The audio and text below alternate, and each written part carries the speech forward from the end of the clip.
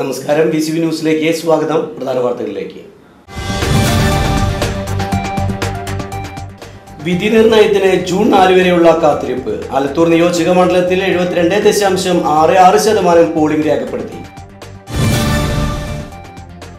തൃശൂർ ജില്ലയിൽ ഉഷ്ണതരംഗ മുന്നറിയിപ്പ് പ്രഖ്യാപിച്ച് കേന്ദ്ര കാലാവസ്ഥാ വകുപ്പ്.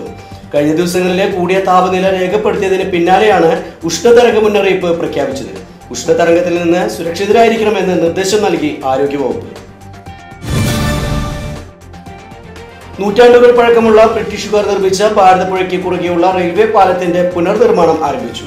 യുദ്ധകാലാടിസ്ഥാനത്തിലാണ് നിർമ്മാണ പ്രവൃത്തികൾ നടത്തുന്നത്. ഷൊർണൂരിൽ നിന്ന് തൃശൂർ ഭാഗത്തേക്ക് പോകുന്ന റെയിൽവേ പാലമാണ് പുനർനിർമ്മിക്കുന്നത്. ചിട്ടയായ സംഘടനാ പ്രവർത്തനം പോളിംഗിൽ ഗുണം ചെയ്തുവെന്ന് വടക്കാഞ്ചേരി നിയോജക മണ്ഡലം തെരഞ്ഞെടുപ്പ് committee secretary P N Surendran.